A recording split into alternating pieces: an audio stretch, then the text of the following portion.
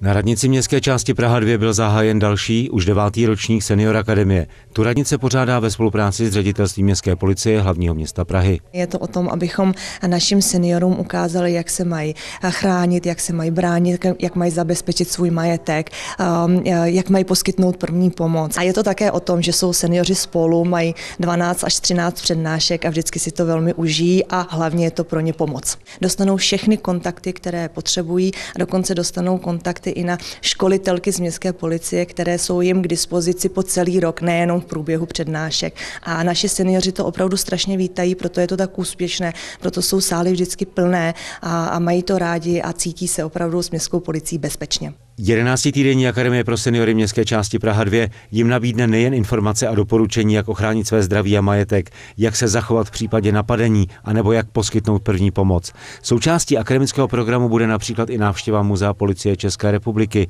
nebo Centrálního operačního střediska Pražské městské policie a posluchači se podívají i do útolku pro opuštěná zvířata městské policie v Praze 8. Obsahem eh, celého cyklu těch přednášek eh, jsou jednotlivé oblasti, eh, které mají napomoct našim seniorům v tom, aby se dokázali vyrovnat se situacemi, které je mohou potkat jak na ulicích, tak třeba u nich v bytě. Z hlediska nutné obrany a sebeobrany se kurzy naší senior akademie věnují pouze teoretické přípravě, protože ta praktická i vzhledem k věku seniorů už není příliš bezpečná pro konkrétní provádění.